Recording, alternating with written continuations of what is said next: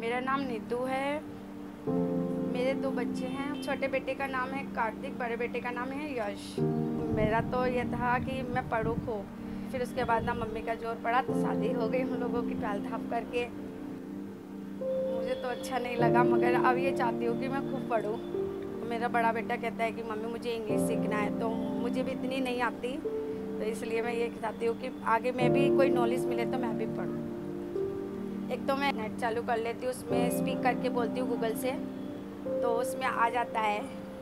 उसमें से थोड़ा बहुत कर लेती हूँ, जैसे टाइम मिलता है तो। फिर घर में, फिर स्कूल का भी काम होता है, वहाँ पे भी जाना होता है। पहले तो हम लोग जाते थे तो सर पूछते भी नहीं थे, और अब तो बहुत ही अच्छी तरह रिस्पेक्ट करते हैं, और हमारा कहना भी बहुत अच्छी तरह मानते हैं कि हम एक पास बना रखा है। कहते हैं सर कि जब मर्ज़ी आप चेकिंग करने आ सकते हो, वो पास से। आजकल बच्चों के लेवल पे, जैसे बच्चे हिंदी नहीं जानते, उसके लेवल पे भी हमने बहुत काम करा है। मीटिंग बिठाई थी, कम बच्चों के मतलब जो वीक है, हिंदी नहीं आती, उनके लिए मैडम ने तो उनको पेरेंट्स को बुलाया गया था, फिर हमने एसएमसी कैंप भी लगवाया था तो बच्चों को हिंदी काफ़ी आ गई अच्छी।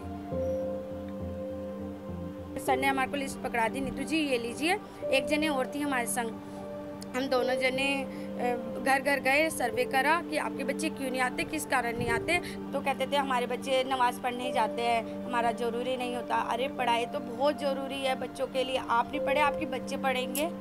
तो हमने बहुत समझाया। तो अच्छा रिज़ल्ट निकला था। मतलब 200 में से 150 बच्चे आने लग गए थे। मुझे पहले तो घबराहट होने लगती थी कि बात करने में भी। पहले बोल भी नहीं पाती थी, हिचकिचाती थी।